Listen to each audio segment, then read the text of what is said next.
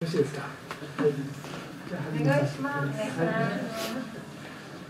えっ、と空気とあ水と空気の汚染と健康被害というタイトルで一体何を言おうとしているのかわからないかもしれませんが、えー、実はあの食品とかから体に入る放射能で健康被害が出るんだというふうに私は当初思っていたんですが、それは結構間違いだ、完全に間違いじゃないんだ。ということがだんだん分かってきたのでその話をしたいと思いますまずこの健康被害っていうと,、えーとまあ、福島の子どもたちの甲状腺がんというぐらいしかあのはっきりしたものはないように思うんですが実は、えーと、ちょっとあ後ろ大丈夫です。見えますか？消しましょうか、消したらちょっと暗いかな消してみましょうか、ね、はいでこれは実はあの東京の順天の大学病院ついちゃったついちゃったついちゃったあ、ちょっとごめんなさい。いやいや、山口さんに任した方がいいよ。はいはい。あれゆっくりや。えっ、ー、と順天の大学病院というところの血液内科の新規の外来患者を2011年から見たものです。で、いろんな病気があるんですが、まあ、増えてる感じはしますよね。でこの下の方に固まってるやつがどうなってるのかよくこれじゃわからないんでここに2011年を1とした時に何倍になってるかというのを書いてます。そうすると大抵23倍になっている。でまあ1.14倍にしかなってないのもありますが、えー、貧血関係は9.9倍になっている、ね、ということで全般にものすごく増えてます。ででもここのお医者さんがすごいいい人だから急に患者が集まったということもあり得る。それでえー、別の病気なんですけどこれだけいろんな病院のあの一つの病気だけです。骨髄異形性、えー、症候群という。その入院患者だけ見るとですねやっぱり増えてるんですね。でこれ2010年を1とした時に大体3倍ぐらい。でこの病院だけ15.8倍、えー、武蔵野赤十字さんでこれは偶然ではなくてやっぱりいろんな病気が増えてる。がんだけではなくてありとあらゆる病気が増えるというのがチェルノブイリのあの結果でであんまりこんなことは思いたくないんだけど、えー、丸6年ぐらい経つとこんな数字がもう一桁大きくなるというのがチェルノブイリ結果。ですそれで、えーまあ、現状がこういうことになってきててまさにチェルノブイリで起きているようなことが今もう進行しているそれで、えー、それを象徴その空気の汚染っていうのを象徴するのはですねちょっとこれなんか見にくいですね。えーと、これなんです。これあのただのマスクですね。花粉用。で東大の人がですねたまたま花粉用のマスクをあの2011年3月15日から1日ぐらいつけてで檜垣さんという人があのつけてたそうです。がこれ今東大の先生。でこの人がちょっとこのマスクの放射線量を測ったらめちゃくちゃ高かった。でそれをこれはですねフィルムの上にポンと置いといたんですね。で放射線が出ていても目では全く上がらない。で目でわからないんだけどフィルムの上に置いとくとここにくっついてる放射能から放射線がビュンビュンビュン出てフィルムを観光させるわけです。でこんなポツポツが見えるという。フィルムの上に置くことによって放射線がフィルムに観光して見える。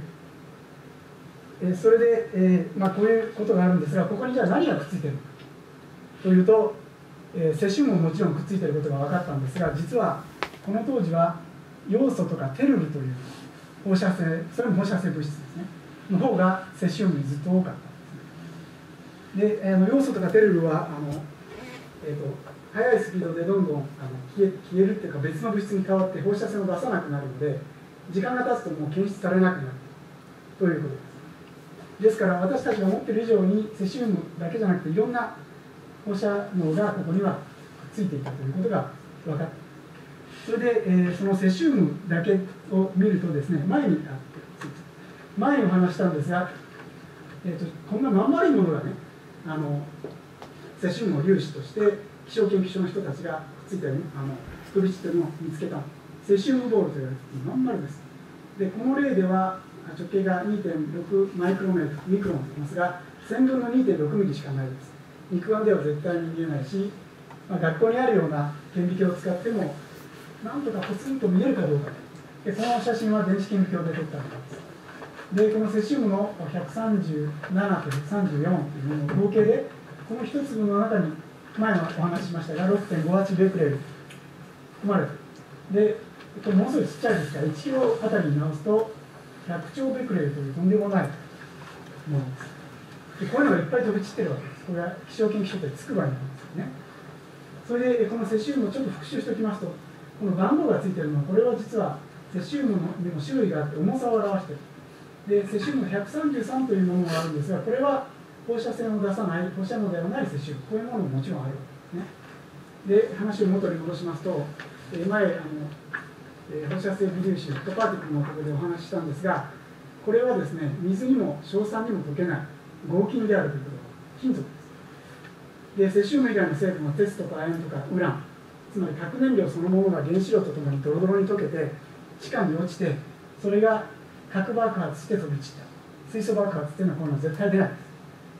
金属が溶ける。何千度という温度になっていてそれがドロドロに溶けたまま急に冷えたからこうなったということが分かっています。でこんなものがマスクに、まあ、ついている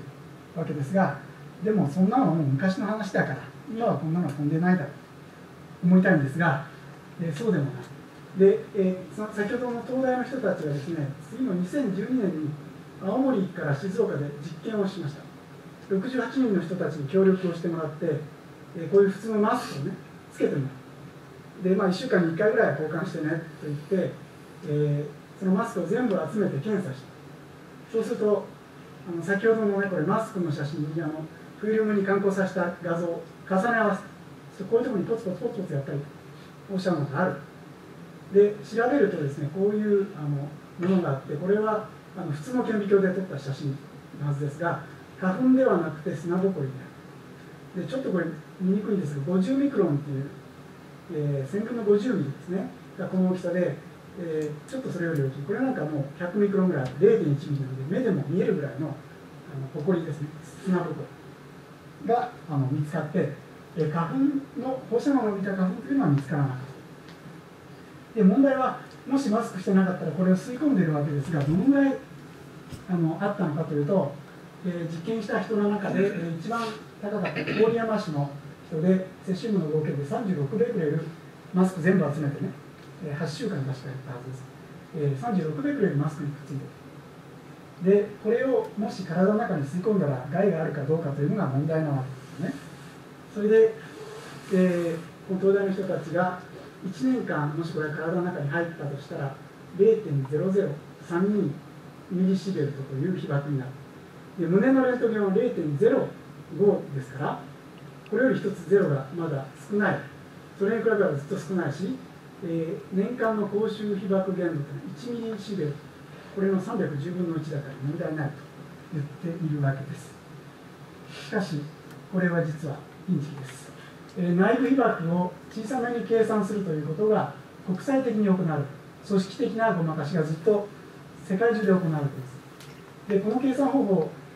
提案しているのは ICRP 国際放射線防護委員会という組織で、えー、日本政府も、えー、ここが言うことは正しいというふうに言っているわけです、えー、それで、えー、どんなふうにおかしいのかという前にですねちょっともう一回このベクレルとかシーベルトって何だったかという習しておきましょうでベクレルっていうのは、えー、放射線がどれだけ出るか。ね。ここに放射能が何かあったとすると、えー、1秒間に1回放射線が出ると1ベクレルですからこのマスクはマスク全部集めて置いておくと1秒間に36発の放射線が出ているということを意味している。でシーベルトっていうのは今度は人がどれだけ放射線を浴びるか。でまあこんだけのベクレル数のものがあっても遠くにいたらねあんまり浴びないし。どんどんどんどん近づいていったらいっぱい浴びるし体の中にそれを取り込んでしまったらもっと浴びる。だから、えー、その浴び方によって同じ放射能があってももちろん被曝量は違ってくるということなんですね。でそれでじゃああの ICRP はどういうごまかしをしているかというとセシウムが体の中に入ると全部それが溶けて、えー、塩を水に溶かしたみたいになって全身が均等に被曝するという過程を置いて先ほどの0.00何がしている数字を出していくんですねところがさっきみたいにあのセシウムボールというのは金属です。水なんて溶けるわけない酸にも溶けない。で砂ぼこりもあのああいうのにくっつくとですねセシウムは水で洗ったぐらいで絶対落ちない。ですから、えーと、そこにごまかしがあるわけです。セシウム137は体内に入ると、溶けないものもある。もちろん溶けるものもあるんですけど溶けないものもある。で溶けないものは特に問題です。で、えここでですねちょっと計算をしてみました、えー、セシウム137っていうのはベータ線という放射線とガンマ線と放射線両方出すんですがちょっと計算が面倒なのでガンマ線は省いてベータ線だけ出すというふうにして計算してみました。つまり小さめに出るんですね今からいう計算。でベータ線はですねここにそのセシウム137のあの水に溶けないものが体の中にポツンと入ったとすると1.62ミリですね。これだけしかこのベータ線が飛ばない。でさっき36ベクレルと言いましたが1秒間にこの範囲を36発の放射線が出るものすごい狭い範囲が出るでこれ1年間ここでずっとベータ線を出し続けてこの半径1.62ミリという範囲を被爆させたらどうなると年間でこの1.62ミリの半径の9がと36ベクレルで5256ミリシベルトになります。間違いない。でさっきのマスクはですね36ベクレルあったわけですが0.003ミリこの2つの違いは16万4250倍の違うで全身にこれが薄く広く分布したっていうのとこんなちっちゃい範囲にねあると全く違う。ここで誰でも分かるようにこういうごまかしをしている。でしかしもうあんな砂ぼこりもあんまり飛んでないだろう。俺たちはもう関係ないと思いたいんですが、えー、今日その関係者来てはですね、えー、ちょっと薄くですみません、えー、十日町市の焼却灰の摂取量合計、えー、ベクレル1キロあたり、えー、去年ですねまだ100ベクレルを超えてるんですね。で、えー、非売と主売というのがあって非売っていうのは、えーと、もし間違ってたら言ってください。あの煙突のところで抜けていくのを布のフィルターで捕まえてる。でもし布のフィルターがなければ煙突から全部出ていく。で主売っていうのはあの焼却炉の下にたまる。灰ですよね。で非売煙突から出ていこうとする灰の方が圧倒的に多い。これはセシウムの沸点が670.8度に対して焼却炉800度以上あると言われています。ですからセシウムがおそらく気体になってしまう。それでもそのフィルターでは全部捕まえられない。6割ぐらいしか捕まらないですから、えー、かなり煙になってですね気体になってばらまかれてしまう。でこれあの4月から5月にピークがあるんですね。これ5月です。2013年。で去年の4月にピークが、まあ、1か月に1回かかって。で冬場はですねどうもうん、はっきりした原因は分かりません。雪があるために何かちっちゃくなるということ。それで、えー、こういうことが、まあ、起きているわけですが、えー、東京の江戸川区の場合はですね桁が違うんです。4000ベク出血400ベク。あの今年のデータもちょっとあるんです。でやっぱりですね、えー、被害が大きくて4月頃ピークで下がる4月頃ピークで下がるんですが、えー、冬場はあのあんまり10日もちょうど下がらない。で一体何が原因でですね4月頃にピークが出るのかというのはあの分からないようですね。あのそういう研究してる人の、えー、言ってる内容を見てもまだ分からない。でそれでこれはあの肺でしたけども、えー、もうこのグラフは何度もお見せしてますが、えー、実際に空気からですね降ってくる、えー、1メーター1メーターの面積に降ってくるベクレル数っていうの東京の新宿では、えーこんなふうになっててですねやっぱり4月頃にピークがあって、えー、去年ですね、まあ、だんだん下がり気味ではあるんですがこんなふうになってでまだ、えー、去年でもこれ10ベクレル平米ぐらい夏場降ってるこれはやっぱり核実験が行われた頃と同じ程度でで我々の身近というと長野と新潟で測ってる長野の場合はやっぱり真冬から春ですね。ちょっとピークがあります。もう去年はちょっとそれが分かりにくくなってます。で新潟市の場合はですねもっとレベルが低くてなんか春に大きくなるっていうのはよくわからない。で1年間の合計で見るとこの新宿では2014年は61.7ベクレル平方メートル。長野は4.7新潟0.6310倍10倍ぐらい違ってます。そのぐらい東京の汚染っていうのは厳しい。福島はどうでしょう？これ2014年の12月だけです。1か月で福島市の小木立天46ベクレル平えー、伊達市、えー、では800です。さらにこれよりも1桁高い。1か月ですよ。1ヶ月。だから1年だったらもうもっと高い。という非常に厳しいことが起きています。それでまあ、えー、こういうことが起きているためにですね、えー、どうもそれが原因で健康被害が出ているということを言ってるお医者さんがいます。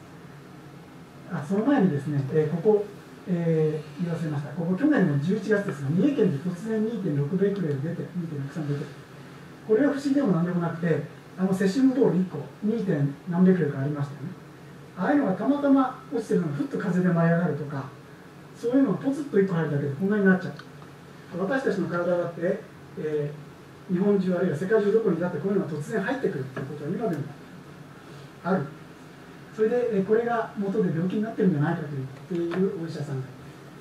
でそれは三田医院っていうですねあの東京のこれ東京の地図でこうなってるんですね。東京のなんか長細いここ東京湾。こっちの地図で見ると分かります。東京湾で、えー、こちらが神奈川県でこちらが埼玉県。この長細い県境というかととの境目が。で三田院っていうあの小平市っていうかこの辺に書いてない。です、えー、ちょっと書いてないですね。あの八王子とかあっちの方だと思います。こちらので開業してたお医者さんがいます。で実はこの先生今もう岡山県に避難した。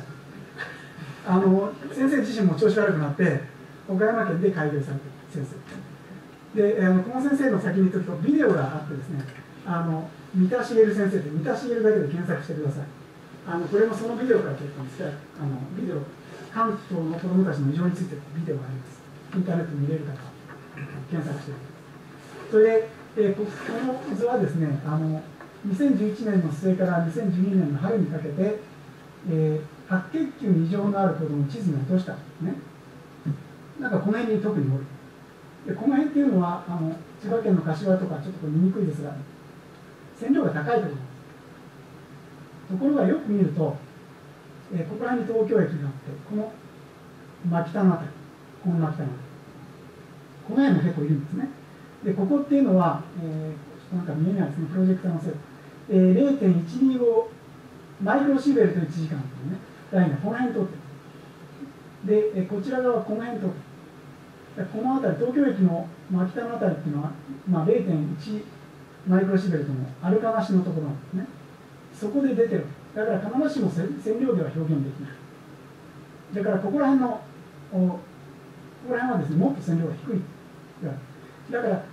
でこれしかも12年の春ですから、えー、外部被曝では1ミリシーベルト1年間もアルカなしだからこれが原因だとは到底思えない。で食品もですねあのこの辺の子どもたちだけが偏って変なの食べてるっていうのもありえないでしょ。う実はこれ関東一円からあの調べてくれてきてるねありえない。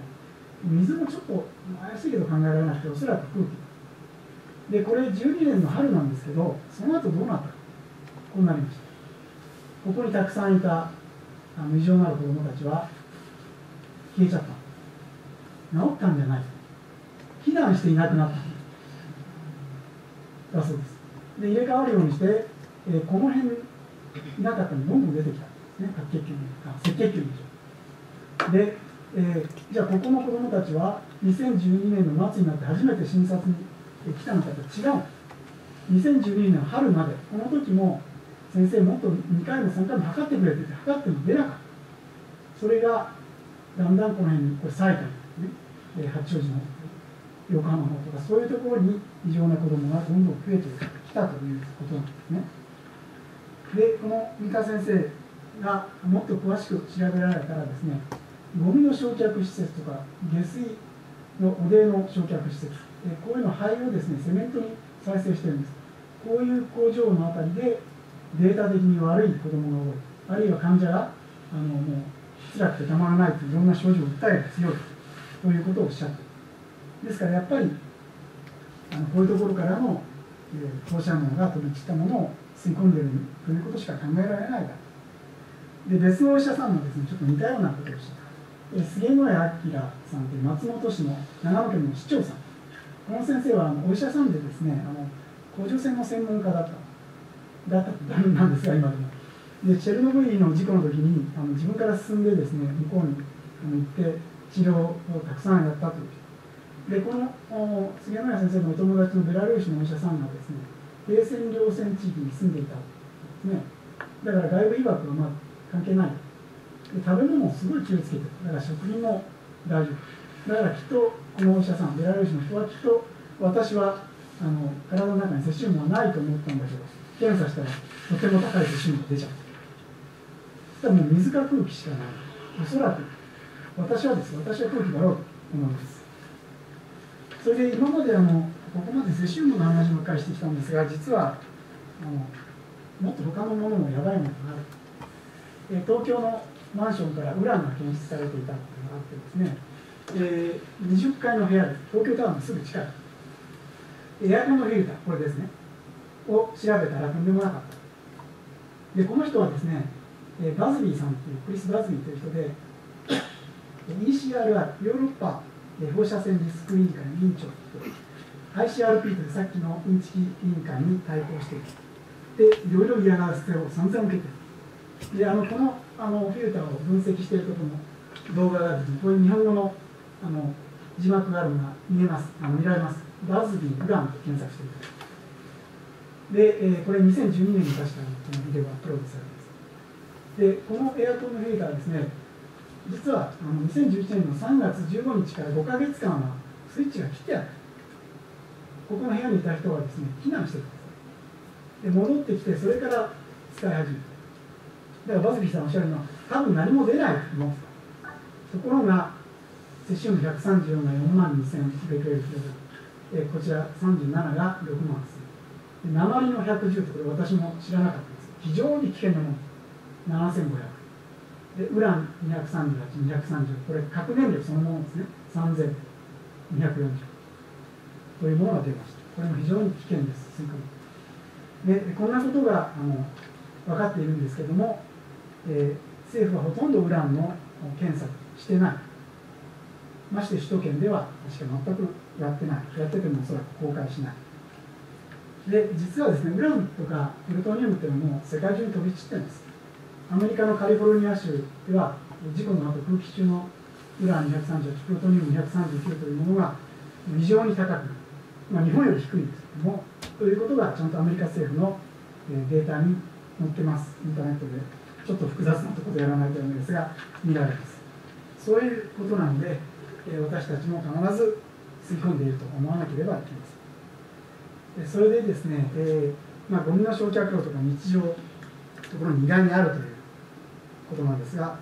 もっとちょっと気がつかないこと、こういうことで、えー、国道6号線っていう道路があってですね、あのずっと福島の原発の辺りを通って仙台につながっている道。です。でこの道路は去年の9月から車が通行できるようになって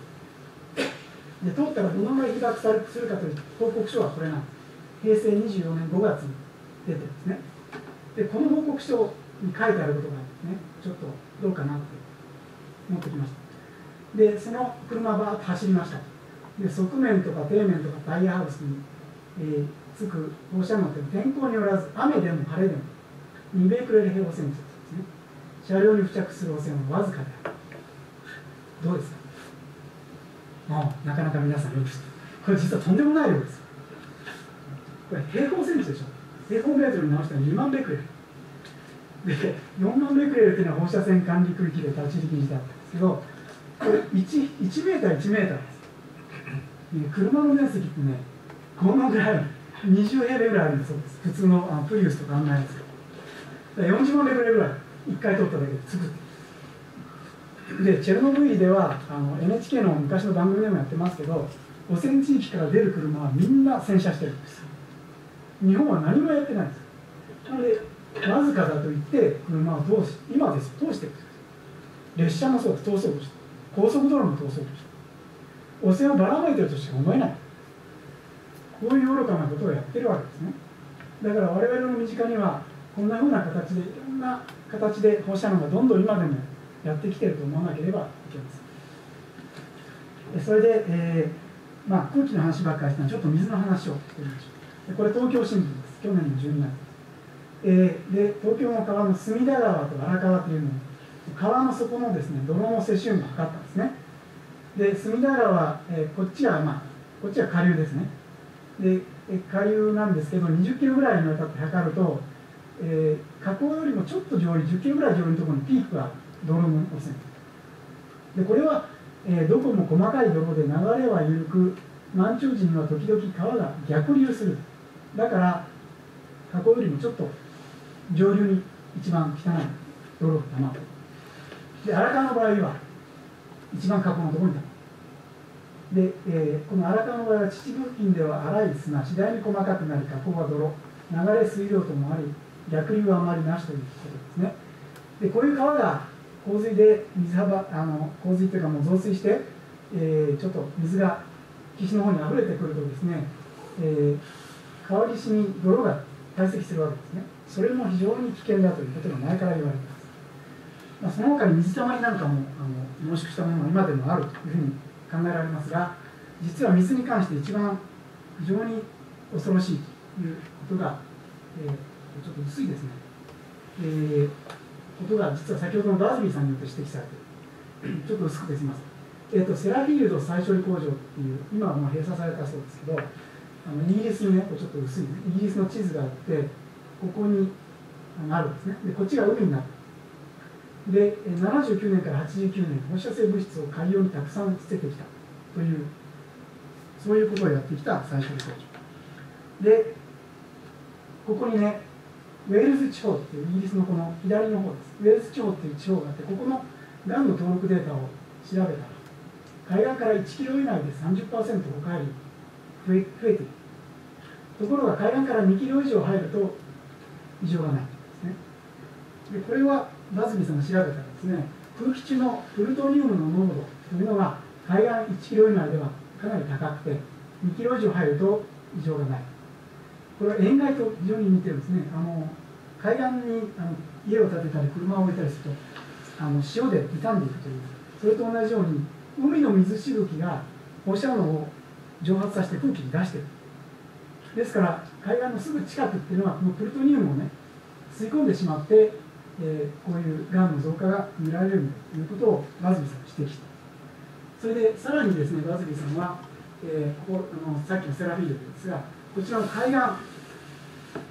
えー、アイルランドのカーリングフォードという町を調査して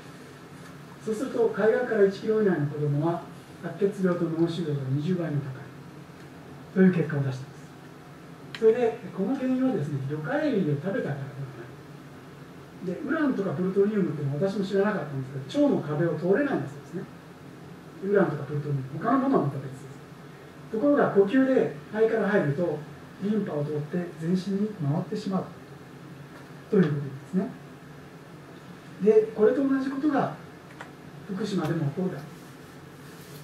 えー、福島第一から南北200キロっていうと、えー、南はですね房総半島。北は、えー、岩手県の南部ぐらいですかそれぐらいの範囲で海岸から1キロに以内に住んでいる人は2キロ以上の内陸へ避難するべきだということを多摩以前におっしゃっています。なかなかこんなことは、まあ、言われたからはいそうですかと言ってできる問題ではあります。でその福島第一なんですがこれあの1月末の発表の資料なんですが、えー、ものすごくたくさんのこの地下水のですね観測口あるいはいろんな溝とかであの放射能を測ってますね。でこのセシウム137というものとストロンチウム90というものにちょっと着目しましょう。でこちらのストロンチウム90っていうのはセシウムの300倍危険だというでこの2つのもの。でこれこれまでの最高値を見るとですね去年の5月7日に全く同じ日に最高値が出て110と3万4000ですね。ベクレールリッター。で実はこの2つの放射能というのは原子炉の中では同じ量があの作られているんです。ところが、えー、こちら110でこちら3万4000ですね。ものすごく水にたくさん出てくる。で陸地にはほとんどこれ降らなかったと言われてますが水に溶けやすいのでその分水に出てきてしまう。ということです。ということでどんどんどんどん、えー、この危険なストロンチウムが今でも海に出ています。それから、えー、以前にお話ししましたがこの H の3って書いてこれトトリチウムと言われるものですね。水素、えー、放射性の水素です。でこれはあの水素という形で出るんじゃなくて、えー、水になって出てくる。水自体が放射能になっているというものです。それもたくさん出てきたさらに先ほど言ったようなウランとかプルトニウムっていうのは必ず海水へ出ているはずなんですけど全くその測ってるのか測ってないのか。測ってても絶対これ公表しないでしょうね。そういうことが行われているという。それで、えー、まとめますと、えー、呼吸ので内部被曝というのが意外に実は言われてなかったようですが危険で車とか列車が運んでくるとかですね川が氾濫してその泥が乾燥するとかですねあるいは海岸べり東日本の太平洋ではさっき言った水自体が放射能トリチウムの雨があるいは海岸から1キロ以内は先ほどのプルトニウムとかウランとか非常に危険である。といったことがあまあ何て言いますか意外なですね知られていない、えー、内部被曝の原因である。ですからまあせめてですねあの呼吸で入ってくるものはマスクをして、えー、防ぎたい、まあ、新潟県では私はマスクはいらないだろうと思ってしてませんがあの関東に行く時は頑張ってマスクをしている。東北に行く時も、まあ、あまり行かないですけど、するということで。すそれで、えー、最後にですねちょっとショックな薄いですね申し訳ないです、えー、映すと薄くなっちゃうんですが、えー、あっと思ったことがあったのでこれ最後にスライドですあのお知らせしておきます。でこれあの前回でしたかあの群馬県の赤城山のてっぺんに大沼っていうあの湖があってそこのワカサギが摂取に汚染されてで、えー、横軸はですねこれ2000 2011年から1年経ちました。2年経ちました。3年経ちました。時間ですね。で、えー、ワカサギのセシウム137だけです。ベクレルキログラムですね。でずーっと減ってきて3年ぐらいで下げ止まって。でこれ私があの群馬県のデータから作った図なんでよく覚えてるんですが実はこれと同じ形のグラフがこの本に出ている。つい先日見つけたんです。あのチェノブイ被害の全貌という岩波書店から出てる本ですね。ノルウェーの湖の魚の摂取量137ブラウントラウトマスですね。こっちは北極岩でこっちは1万ベクレぐらいあってですねもうレベルは違うんだけどずっとこのまま下がるかと思ったら4年目ぐらいで下げ止まるという非常に形がよく似たこっちは3年ぐらいグラフを見つけてしまってですねやっぱり本当に同じことが起きてるんだなということを実感させられてちょっと嫌な感じがしました。えー、ということで、まあ、これを報告して、え、これで終わりにします。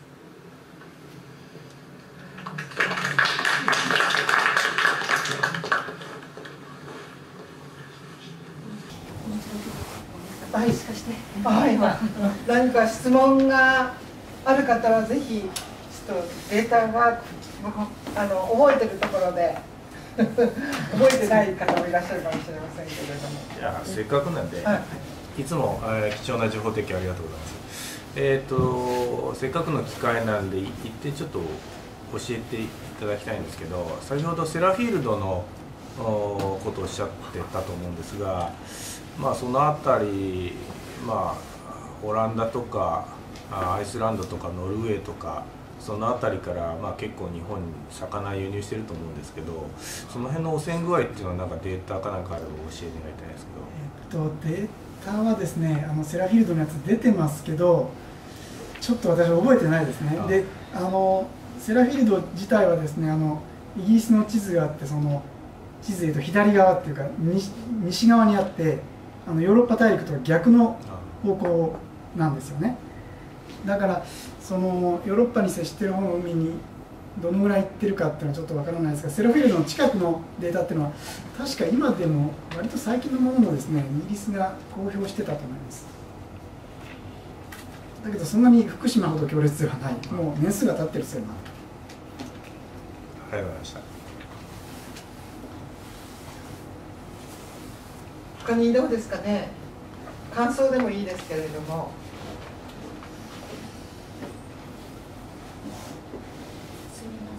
と途中からなので今あのスーパーでよく三陸沖のわかめとかあの旬ですとかシールがあってよく売られてるんですけどそれと絶対。私は買いません。あの日本海のものは買いますで養殖のものですと例えば九州とか行ってもどこの砂を餌にしてるかわからないでしょ。あんまり良くない。からお茶も静岡のものが圧倒的に多いですけど私は静岡のものは避けて鹿児島とか京都とかのお茶を買っています。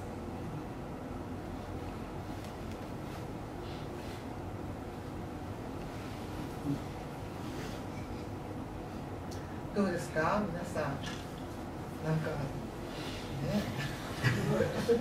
あのねあの私ちょっとあれですけれどもあの福島でね子どもたちがもうすでに110何人あの甲状腺小児甲状腺がんで85人ぐらいが手術したっていうふうになってるんですけれどもどんどんどんどんまだ増えていきますよね。それなのに期間期間とか言ってね戻してその年間5ミリシーベルトぐらいだっけ？20ですよ。20でしょ？20は20までは今いるんだけど期間は5ミリじゃないんですか？それはチェルノブイリの話で5ミリ以上は強制退去で日本は20ミリに達しなければ済みなさいそうなんですか。返す時もそうなんですか？返すにそうです。今解除し解除してるんです20ミリですか。だってね妊婦さんは0.05でもダメだって言ってるんですよ。レントゲン受けられないでしょ。妊婦さんも何も関係なくて20だって。ちょっとねあんまりだと思いますよね。ななんだろうと思ってすごいことになりそうですよね。もうなってるんじゃないですか。であの甲状腺がんもですねえーと、ちょっとうろ覚えなんですけどもうチェルノブイリはるかに超えてるんですよね。人口割合とかからすると,、えーと、10倍どころじゃなかったと思うんですよ。すでにそういうことが起きている。なんかね昔っていうか事故があったばっかりの時は日本人はねわかめとかいっぱい食べてるからそれにあの要素もあんまり放射性要素もあそこほど出てないからそんなに出ないあのがんにならないってね嘘の情報ばっかり流しててみんな油断もあったと思うんですけど。でねこの間あのあるお医者さんが言ってたんですけどあのたくさんわかめを食べるとかえって甲状腺がんが増えるというデータもあるんです。食べ過ぎ食べ過ぎるというか。だからそれたくさん食べればいいなんていうのはそれも大嘘ですよね。でまたあの今度ねあの規制庁がいろんなところでやっぱり再稼働するのに要素剤をね30キロのところはいらないんだとかスピーディーであのスピーディーな情報は出さないということと同時に要素剤はもう何10キロ圏内何キロ圏内30キロまではやってたんだっけそれ以上はいらないとかなんかまた切ったんですよね。だってあんなすごい安いものでねものすごい安いですよあれ。いくらぐらいだったかな。一つ10円とかそんなんですよ。確か10円もしないぐらい。本当にになんていうかしら本当にひどいところです。よね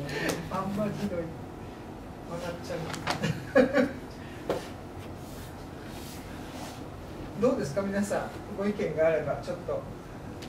あの2時半ぐらいまで討論をしてそれからちょっと映画界の事務的な打ち合わせとかもあるので一応2時半ぐらいまでいろいろご意見を言っていただければと思いますが。はい。と気になったのがそのチェルノブイリはの時は一応政府が補填し続け今もずっとめなんだろう国民の面倒を一応は見てるじゃないですかだから最初から見てたんですが日本だけこんなにこう何もしないみたいな嘘嘘で固めて何もなかったことにするみたいな方向になってるのか他の国と比べてどうなのかなんでこうなのかなっていうのがちょっと気になったんですけど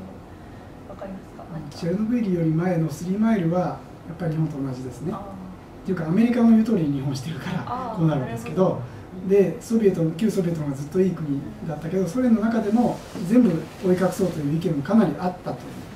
ことだそうです。だからあの地方によっては本当に何も知らされなくてひどい目に遭ったところもあるけど少なくともチェルノブイリ原発のために作られたプリピャチ市っていう町は人口5万人ぐらいだったんですけど次の日に1人のクラス全員避難させたんですよ。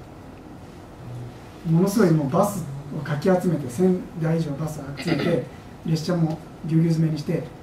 3日間だけと言って騙して全員避難させたんです。二度と帰れなかった。日本何もしてないです。それからあのあなたたち新しい町作るからここに住んでねって新しい町まで作ってるんですよ。それはもう突貫工事でやったから必ずしも成功しなかったみたいだけどとにかく一生懸命やったわけですね。それに比べればもう日本なんて除染とかいうのだってね除染っていうかもう原発の自己処理だってねあの暴力団に頼んで人集めてね頼んでるかどうか知らないけど使わしてみたりしてるわけでしょ、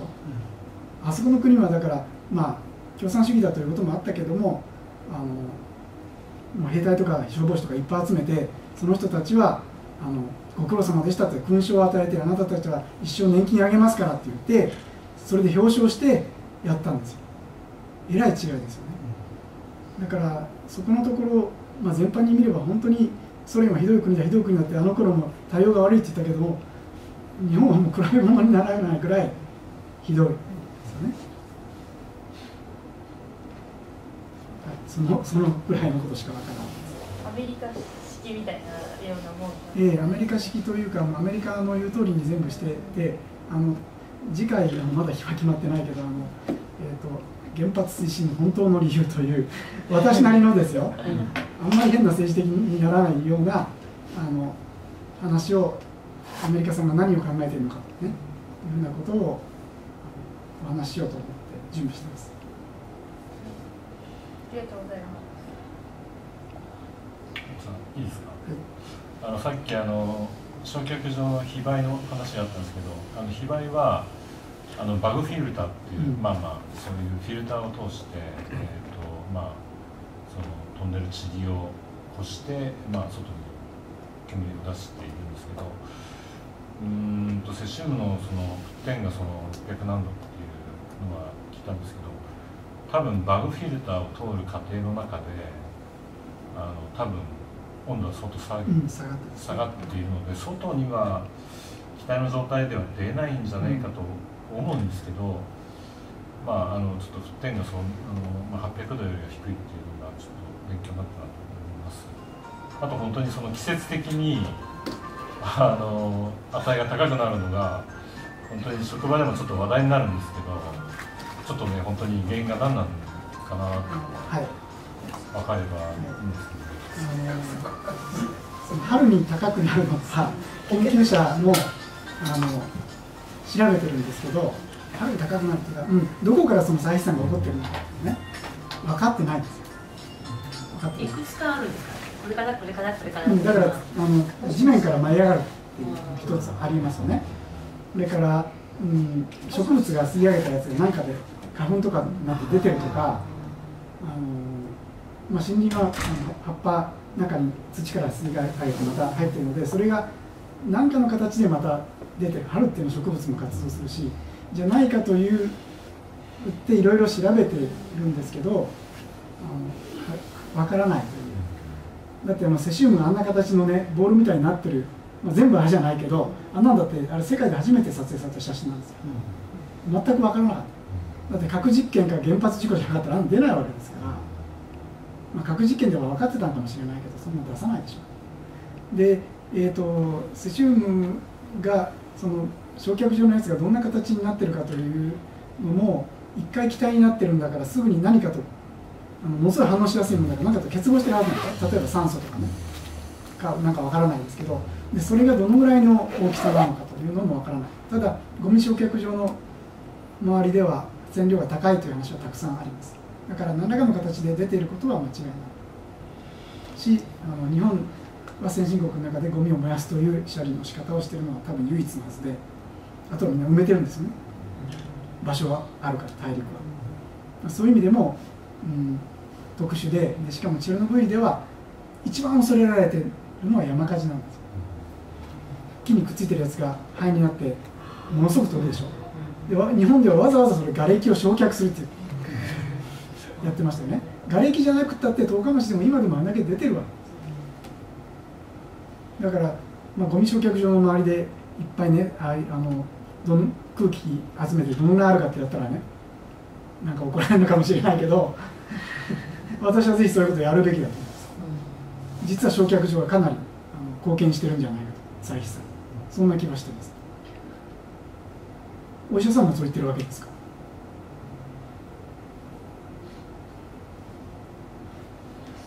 あの今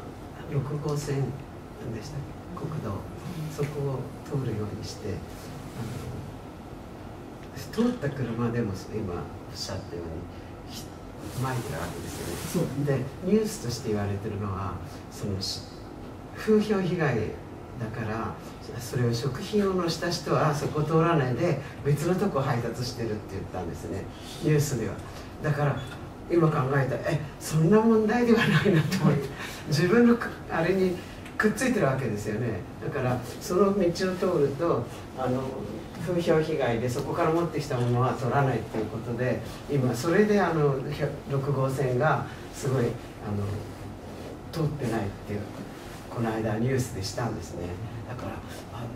これどういうのかなと思ったらそんなの通る通らないとか関係ない、ね、荷物を積んでるのかどうとかっていう問題じゃないですよね。だって包んであるんだからそうそうそう。だけどニューそのニュースとしてはそういう流し方をしてたんですよ、うん、だから食料品は通らない、うん、他の車は通ると。そんなことは到底考えられないしそうじゃなくてその結局車についたやつがタイヤについたやつがまた次のところでタイヤがねあのなんか釣り減ったりなんかでねまき散らしてるので交通量の多いところでは線量が上がってきてるという話はありますよね。だからそんなところ通らなくてもね、あの普通のが通ってればそれがまき散らしてるわけだからそうですね、その食品積んでる積んでないじゃ関係ない。ですよね。だからあくまでそのあの食べ物から入るんだということを強調したいんでしょうけど、はい、実はあのそうではなくて、うん、あの汚染地域に住んでるとかその要するに放射能の小さい粒ですよね、ものすごく小さなものがだって PM2.5 って急に出したのもねあれおかしくて、もう10年以上前から同じぐらいの汚染はあるんです。ずっと私もデータ見ました過去の。PM2.5 の。同じなんです今と。急に出したでしょ？去年一昨年。だから何かあったらあれのせいにしたいという意図が 明明なんですねだからああいう細かいものって本当に悪いんだけどそれがしかも放射能だからもっと悪いわけですで5ミクロン以下のものは肺の中にほとんど入るそうです。もっと小さい1ミクロン以下のものは肺から今度血液に入るそうです。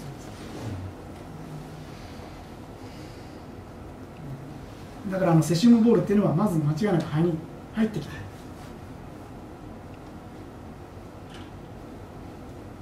東京埼玉千葉あたりでねそのマスクをした方がいいという話でもそういうしてるようなところって見ます。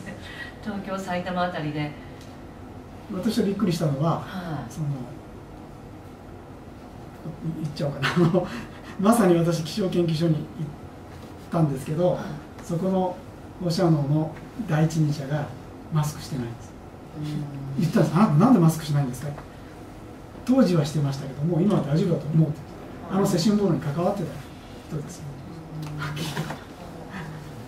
んながもう大丈夫だと思ってみんなマスクしてないわけですよね、きっと。研究はするけどもその本質をあの人は知ってるんだろうかと。あんまり議論しても仕方ないんであのちょっと仕事で行ったんですけどあの、ね、ちょっとびっくりしました。一昨年かな私福島に親類がいて白樺まで行ったんですけど私はマスクしてたんだけどやっぱり市民は誰もマスクしてなかったのでやっぱりも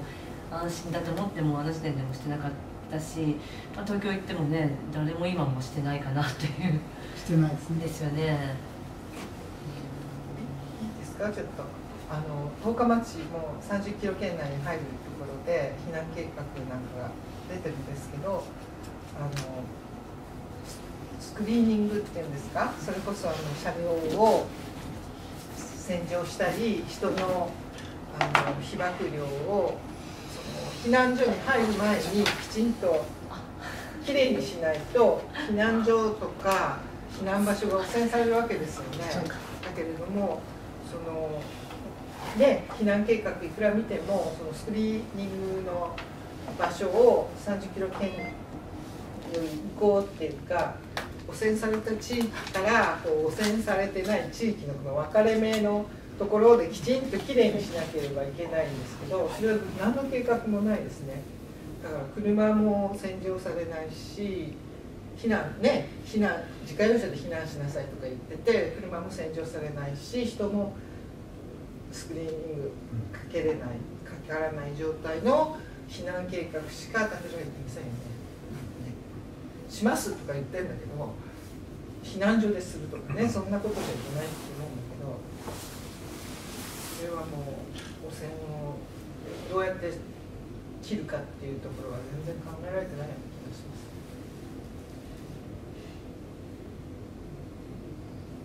っていうかそ無理ですよね。そんな風よりも早く逃げるとかだ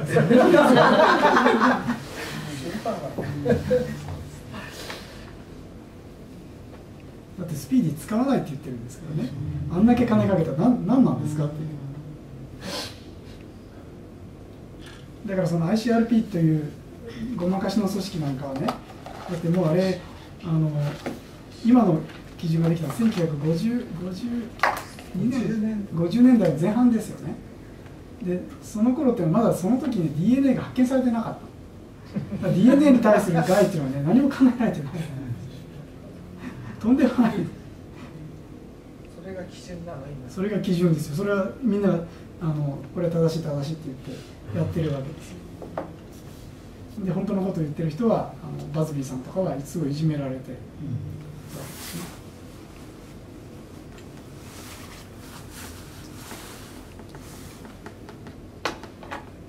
ついであの何しろ私あのこの間もちょっと省庁交渉ってあの行ったんですけど仙台原発周辺の人とかと一緒に。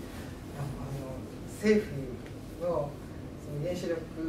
防災官防災係官みたいな人は必ずあの避難計画とか防災については地方自治体がその責任を負っていますと。必ず言うんですね。だから政府としてはその地方自治体を指導するだけです。言うんですね。でもうどこもそうなんですね。でも本当に国は一切の住民の避難とか安全に関しては責任を負うつもりはないんですね。でねあの東京ブラックアウトという本であの 内部告発みたいなの読みましたけどどこが原子力防災の避難計画を担当するかっていうのでもう省庁ですごい押し付け合いがあって環境省とか環境省かな今あの通産省とか企画庁あの原子力規制庁とか内閣府とか押し付け合って押し付け合ってでわけのわかんないことになってまあうまく、まあ、自治体にやらせましょうみたいになってるんですけどあの誰も守ってくれないっていうことはね すごい明らかな守りようがないから守ってくれないんで賢い人たちは守りようがないことを知っているんですよねだから官僚は自分たちは責任を持たない。持てないから。持てないから。持たない。ってことだと思うんですだからそういうのをよく押し付けるなっていうのはね病気になった子どもたちの面倒を見ないし家を失った人の面倒見ないしみたいなとこと未来永劫につながっていくわけですよね。きっと。誰も責任取らないし。